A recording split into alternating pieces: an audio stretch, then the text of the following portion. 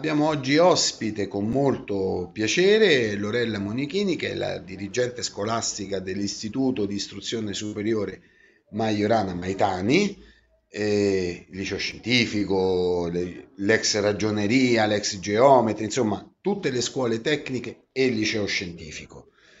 E siamo qui perché intanto c'è un compleanno importante, il, i 50 anni del liceo scientifico, ma poi perché eh, è la dirigente scolastica della scuola più grande, di studi superiori più grande della nostra città, con più iscritti, e chi meglio di lei ci può dire che cosa sono stati questi ultimi due anni e mezzo eh, tra la pandemia, le emergenze e il ritorno alla normalità? Intanto ancora grazie di aver accettato il nostro invito e partirei proprio con questo. Quest'anno finalmente si è veramente ripartiti, non ci sono state più interruzioni, sì, la DAD, ma la scuola è stata sempre aperta. Era ora, io direi.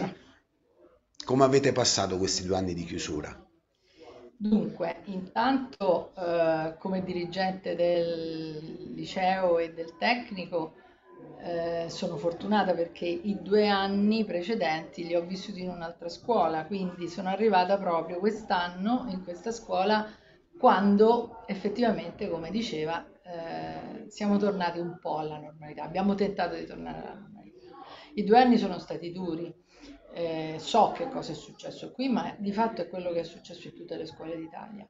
Eh, trovarsi dall'oggi al domani a dover inventare un nuovo sistema didattico nuove metodologie eh, per poter garantire agli studenti non solo la formazione ma anche il contatto, il rapporto con la scuola e tra di loro è stato molto impegnativo. Sebbene eh, in questa scuola c'era un'antica tradizione di eh, eh applicazione di metodologie digitali e quindi competenze anche tra i docenti ampiamente diffuse, per cui sicuramente si è trovata meglio di altre scuole. Quest'anno eh, il ritorno alla normalità è stato sicuramente molto emozionante perché rivedere finalmente la scuola sempre piena di studenti è stato... È senza se, senza ma, sempre piena. Sì, sempre piena, sempre piena di studenti. Naturalmente c'è stato il periodo fino a Natale in cui avevamo qualche classe in autosorveglianza, in isolamento. Ehm, qualche numeri anche consistenti di ragazzi positivi all'interno.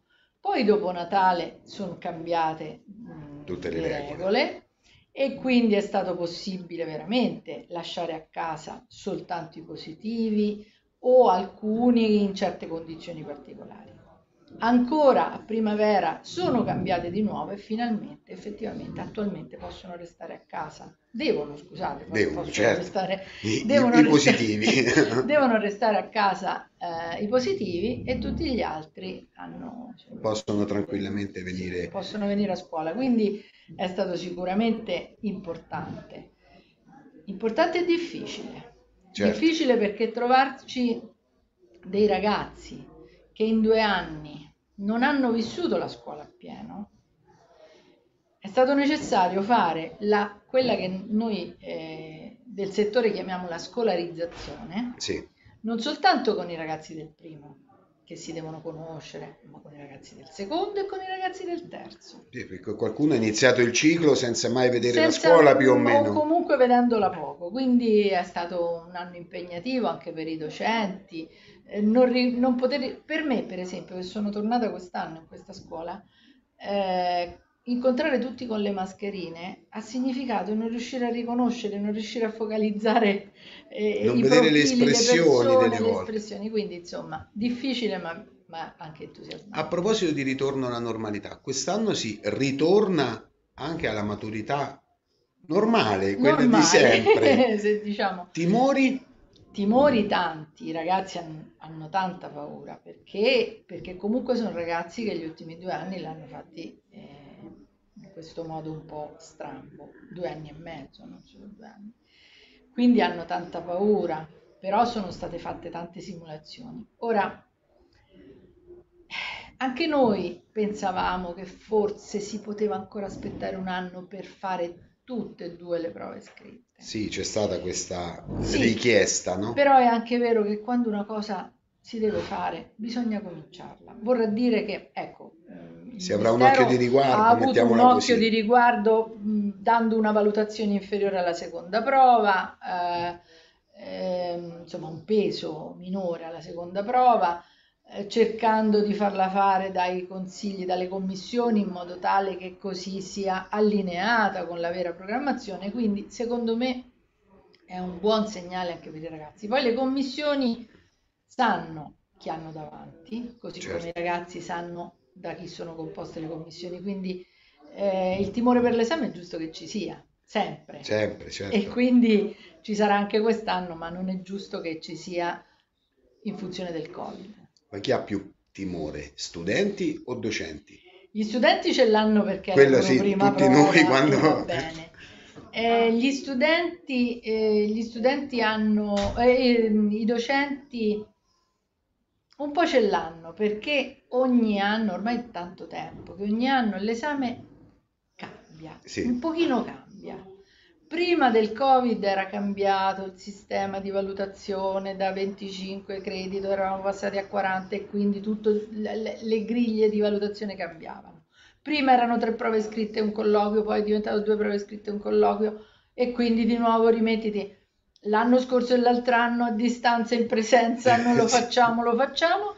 E adesso quest'anno si torna con un esame comunque diverso da quello prima, prima del Covid e diverso sicuramente da quello durante il Covid. L'altro grosso problema che è nato in questi ultimi anni è un po' in, vari settori, eh, perché nella sanità mancano i medici, mancano gli infermieri, nella scuola mancano, e guarda un po', soprattutto insegnanti delle materie scientifiche, matematica È e chimica. stato, è stato doloroso perché non c'è stato un ricambio generazionale. Tra l'altro, in questa scuola, sia nello scientifico che nel tecnico, c'era uno zoccolo duro di docenti di matematica e fisica di esperienza e che era anche del territorio, quindi in qualche modo c'era una continuità. Naturalmente le persone finiscono la loro carriera, vanno in pensione e quindi non c'è stato questo ricambio a causa di concorsi non indetti, a causa non so bene di cosa comunque.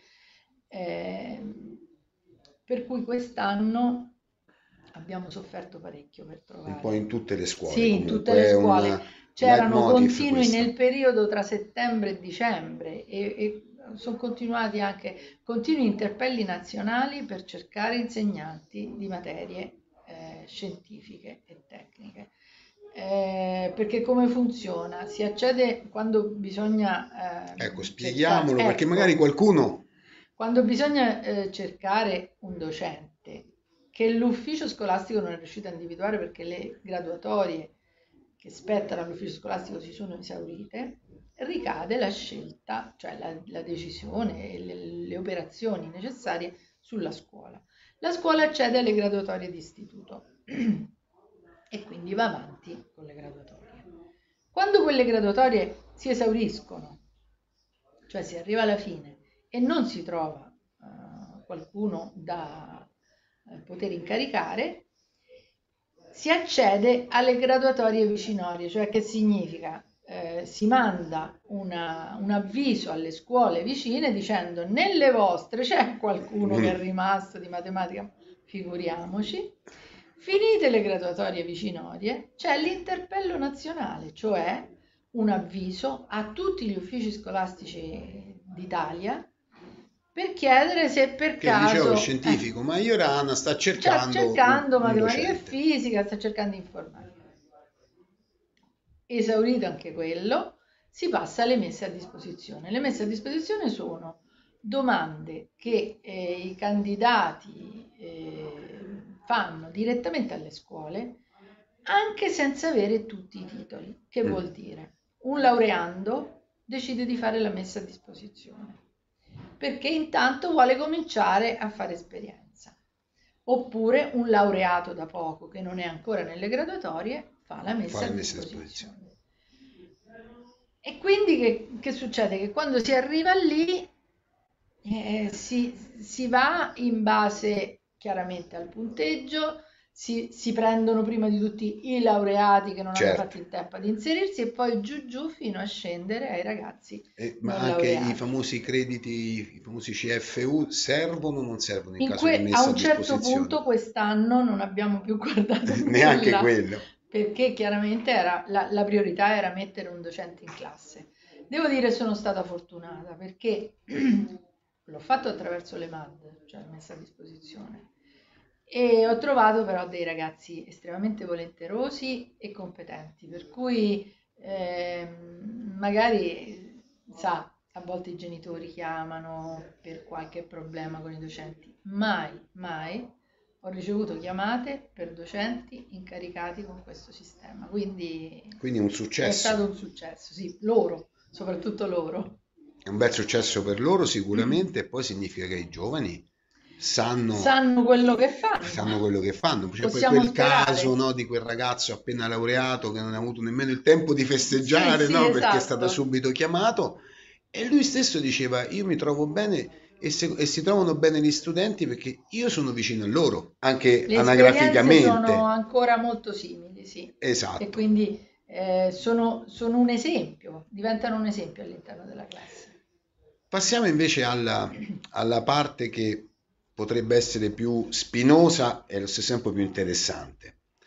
Avete da poco come scuola organizzato un interessante convegno sull'idea di imprenditorialità nella scuola e come insegnare l'idea di impresa a scuola.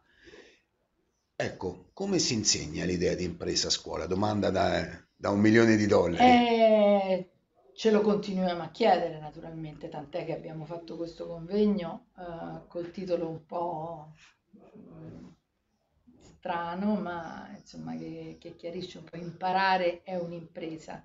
In generale, eh sì. imparare qualsiasi sì. cosa è un'impresa, ma poi è anche un'impresa per se stessi. Ehm, noi abbiamo scelto questo argomento perché eh, era nella cornice delle celebrazioni dei 50 anni del liceo. E l'abbiamo scelto perché riteniamo che questa scuola, il liceo Maiorana, che poi oggi si è arricchito anche eh, della parte tecnica con il Maitani, è una scuola dove l'imprenditorialità, anzi quella che piace eh, tradurre eh, in certi ambienti come imprenditività, è una competenza estremamente curata. Noi abbiamo eh, da sempre coltivato le attitudini, le eh, piccole e medie capacità dei nostri studenti, permettendo loro di fare scelte consapevoli del loro futuro e soprattutto di avere successo, ma un successo non diventando famosi per qualche lavoro, anche. anche Può succedere, ci mancherebbe altro. Abbiamo uh, studen- ex studenti sì. che hanno fatto carriere importanti, ma successo personale, cioè la soddisfazione di poter dire in qualsiasi momento faccio quello che mi piace o comunque mi sono dovuta adattare, ma comunque lo faccio con lo faccio volentieri, con volentieri è altissima la percentuale di studenti di questo tipo. E come abbiamo fatto? Beh, eh, il passaggio tanti anni fa alla sperimentazione Brocca ha facilitato questa cosa, perché la sperimentazione Brocca, non stiamo a parlare ormai di una cosa che purtroppo la riforma del 2010 ha accantonato. Eh, però c'aveva una cosa che era l'area di progetto. Allora, in questa scuola si è imparato a lavorare per progetti già negli anni 90 Lavorare per progetti significa far misurare i ragazzi con i problemi, trovare, cercare di trovare le soluzioni, lavorare in team, accettare piccoli fallimenti, ma anche saper gestire i successi. Certo. Quest'anno, nel ritorno alla normalità, noi abbiamo partecipato, come sempre, eh, questa scuola accade a tanti, tantissimi concorsi. Con tanti successi. Con tanti successi. In quest'ultimo periodo non abbiamo fatto altro che ritirare premi. Io parlo mh, mm, al plurale, ma hanno, in terza persona dovrei parlare, hanno ritirato un sacco di premi, i ragazzi soprattutto. Quindi come diventare imprenditori di se stessi, ma semplicemente mettendosi in gioco quando tu sei uno studente di 15-16 anni, 17, hai bisogno di una guida. L'insegnante che ti fa da guida e ti dice ce la puoi fare, prova a cimentarti in questa cosa, ce la puoi fare, ti dà quello stimolo giusto per vedere che effettivamente forse tu ce la puoi cosa. fare. E quindi andando avanti, tant'è che sabato scorso i nostri studenti hanno eh, fatto domande e mh, mm, fatto riflessioni che veramente ci hanno messo eh, quasi in difficoltà nel dover rispondere a cose spinose. Loro, loro si rendono conto della società in cui vivono. Certo, e, sicuramente e sanno, sì. E sanno cosa abbiamo lasciato anche, non cosa stiamo lasciando. A proposito di questioni spinose, no? purtroppo negli ultimi tempi si sono moltiplicati gli incidenti sul lavoro che hanno coinvolto studenti nell'alternanza scuola-lavoro. Prima domanda, che tipo di controllo e di prevenzione si può avere? Ma la seconda, è ancora valido come strumento lo strumento alternanza scuola-lavoro? Allora, mm, una piccola premessa. Io credo che sia stata strumentalizzata sono stati strumentalizzati gli incidenti che disgraziatamente sono accaduti a questi ragazzi per eh, denigrare un'attività che invece è un'attività positiva. Perché, ad esempio, torniamo al convegno. Per questo convegno i ragazzi hanno fatto un lavoro di preparazione di, di poche ore, qualche giorno prima, e poi hanno partecipato sabato mattina in orario extrascolastico, perché noi abbiamo il sabato chiuso, a questa iniziativa facendo un'attività di ricerca per un convegno e di relazione per un convegno. Ecco, quella per noi è, rientra nei percorsi di eh, competenze trasversali e orientamento, ex alternanza scuola-lavoro. Quindi gliel'abbiamo riconosciuta come alternanza. Eh, sono tante le possibilità per fare alternanza e l'alternanza ha un valore importante per dare ai ragazzi i tempi, i ritmi, le regole che poi troveranno al di fuori della scuola.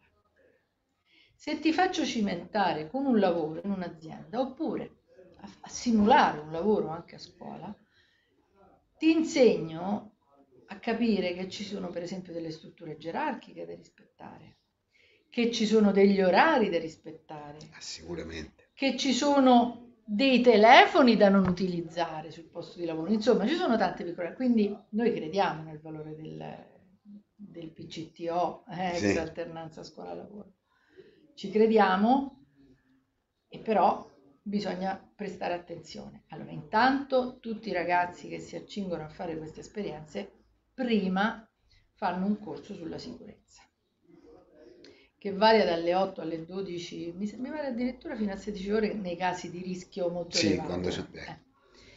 Eh, quindi si preparano, cioè capiscono che quando si va su un posto di lavoro certo, bisogna eh, si preparano esempio, teoricamente, poi dopo... Eh, eh, certo, è certo, certo, però eh, quantomeno vengono uh, preparati. Questa è la prima fase. Dopodiché ogni qualvolta uno studente esce dalla scuola per un percorso eh, di lavoro e quindi di, di alternanza, viene segnalato all'INAIL, quindi acquisisce la copertura di Come un, normale, normale lavoratore. lavoratore.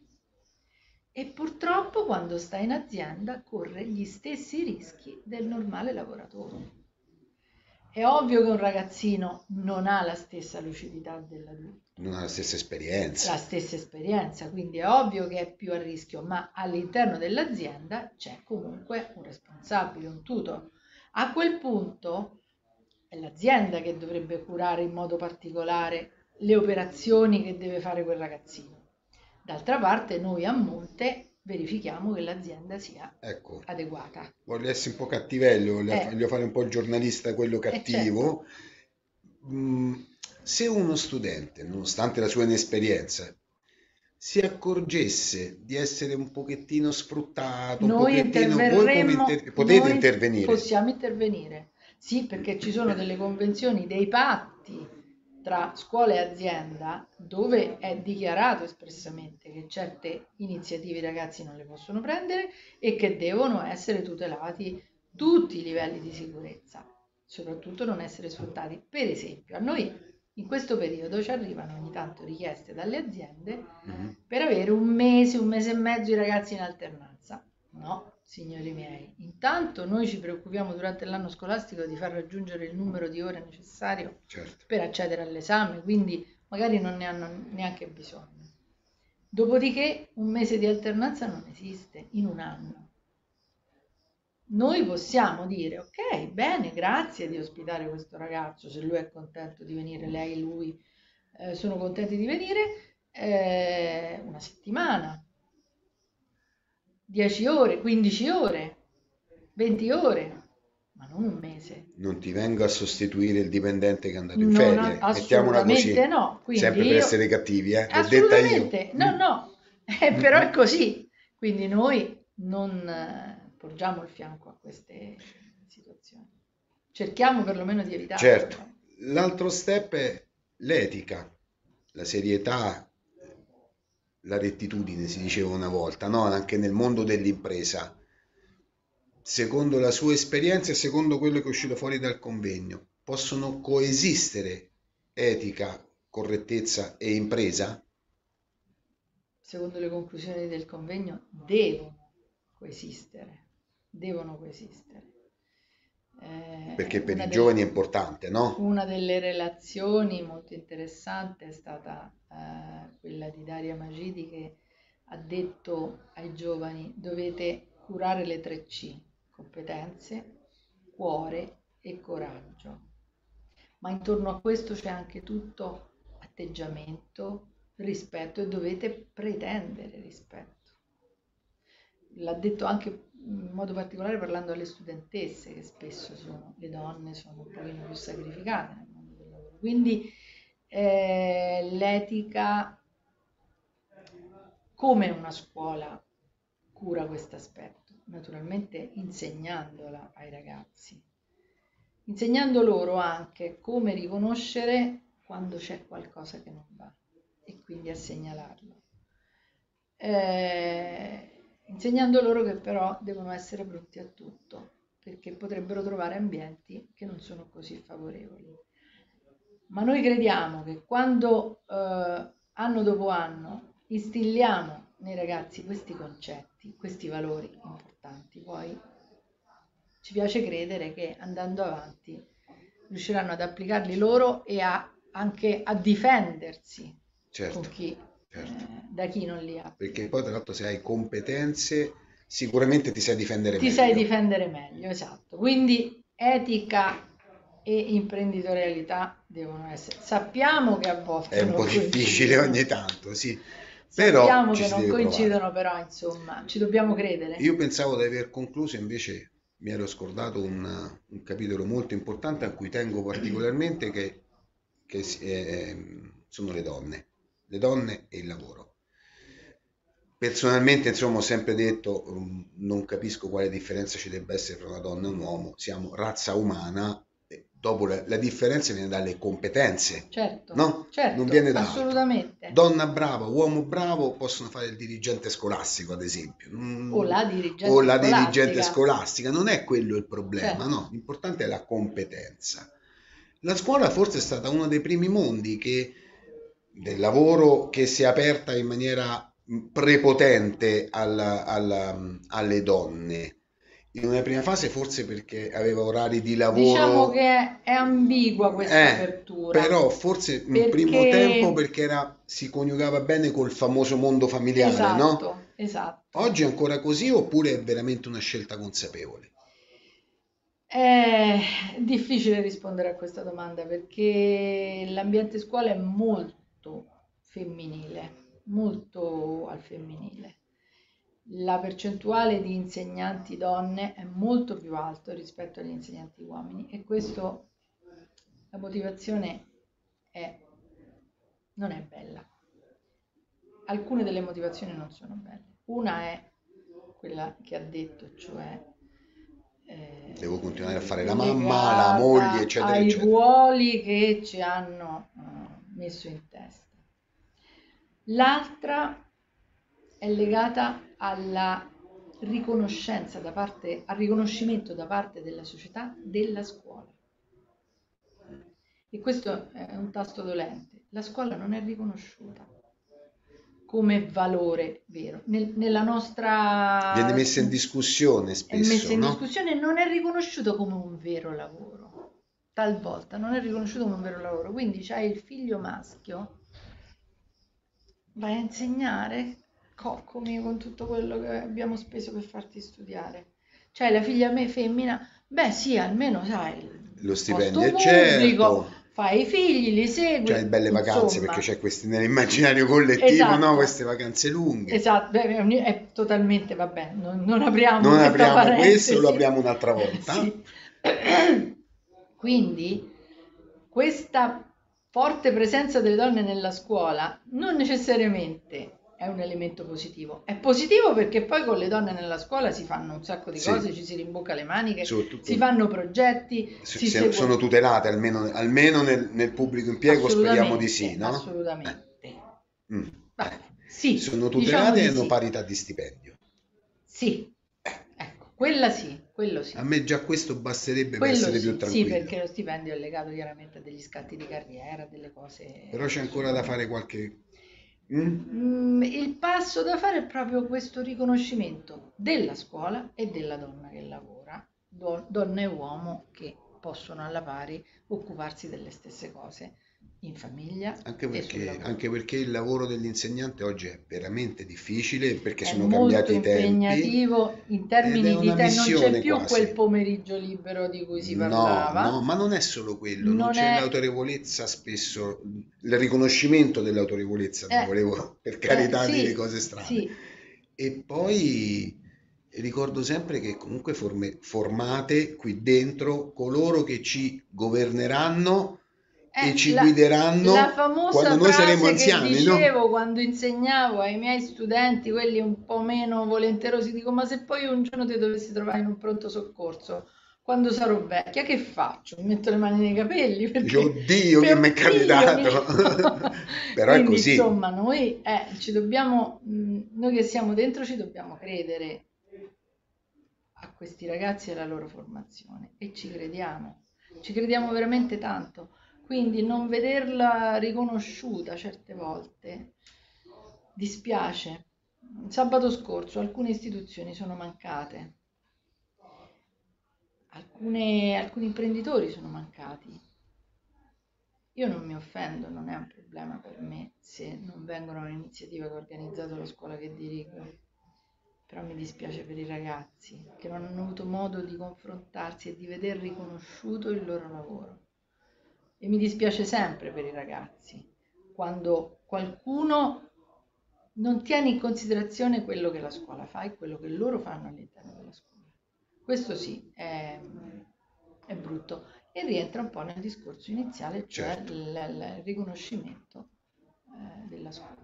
Allora, io la ringrazio eh, per ora, abbiamo chiuso con una nota amara, diciamo così, Amara, un ma, po' di ma- delusione, ma, ehm, però ehm, si da, recupera, da- no? da dentro io continuo, io e i miei docenti, miei, scusate, parlo non in termini di possesso, ma proprio No, di no, no, ci affetto. mancherebbe. eh, docenti e studenti continueremo a lavorare perché insomma Anche perché eh, merita l'istituzione sì, scuola. sì, In sì. generale, eh, poi qui a Orvieto devo dire che i due istituti no assolutamente assolutamente siamo belli attivi, svegli no? siamo Belli belli svegli. svegli Anche pericolosi perché- ogni tanto siete, eh? anche pericolosi perché fate troppe iniziative. troppe iniziative tocca E non vi dietro. stiamo dietro.